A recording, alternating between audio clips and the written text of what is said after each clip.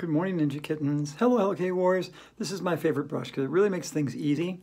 I put uh, the uh, purple, light purple underneath my eyes.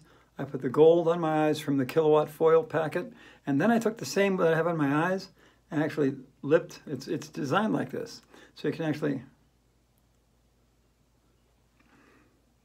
highlight your lips. Put it where you want and play with it today.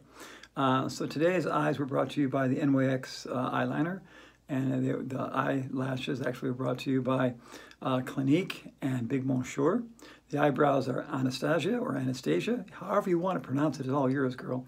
I got the curly cues going on right now. Nice little curly cues with my uh, NYX glitter slash matte glitter on my cheeks.